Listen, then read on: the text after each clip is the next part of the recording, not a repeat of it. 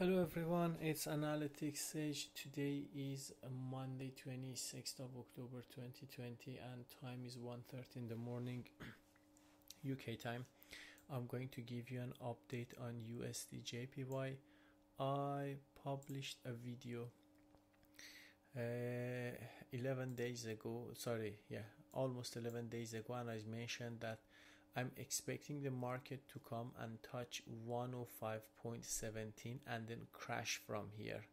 And then from here I will decide if I'm going to buy or not. Market perfectly followed my story and my scenario.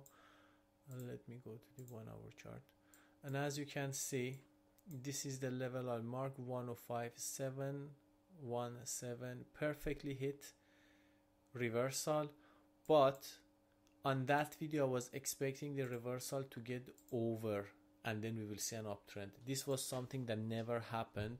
So the second part of my correction was never actually never went through and we saw a crash. This crash caused me to re-evaluate some of the stuff. So before talking about it let me explain something because we have two models currently.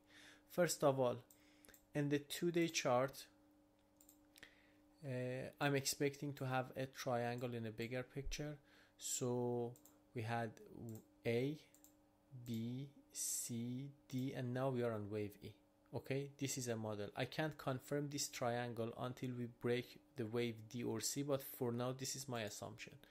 So in the last leg of the triangle from here to here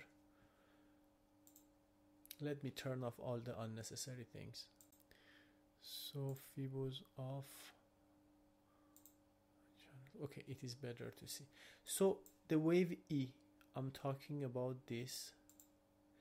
There are two possible scenarios for wave E and I'm going through them because one is bearish and one is bullish and it will be up to you which one you want to choose but I will explain you both.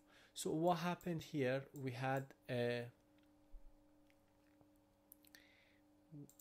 we had a wave A or W then we have a triangle A B C D and E and then we had the last leg of the correction okay here which was A B and then wave C. And the wave C is also composed of A a triangle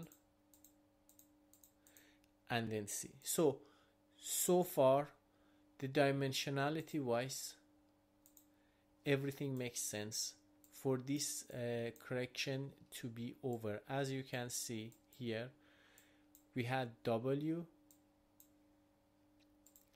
we had the W we had the triangle A B C D and E and the market finished perfectly at the first Fibo target. So uh, we saw uh, we observed a reversal here and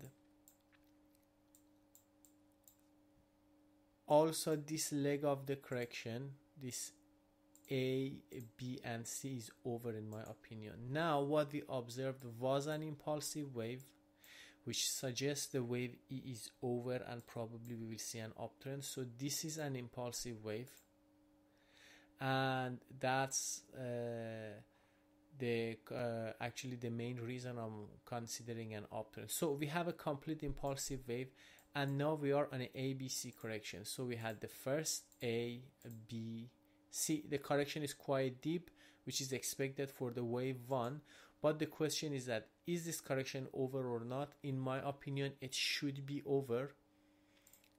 Let's go to the one hour chart. It should be over. This is not impulsive we can't but i'm waiting for this uh, actually to unfold more. One way to trade this market is to have a buy order here. Sorry this is the buy order. This is the 104.98 so if it breaks we can expect a, a very fast uptrend and the only way to justify it is to consider this as a leading diagonal. I'm not a fan of actually using leading diagonals much but for now this is the model i'm considering. We had a leading diagonal and then we had a abc correction. Sorry it doesn't draw we have a abc correction and then an up trend all the way.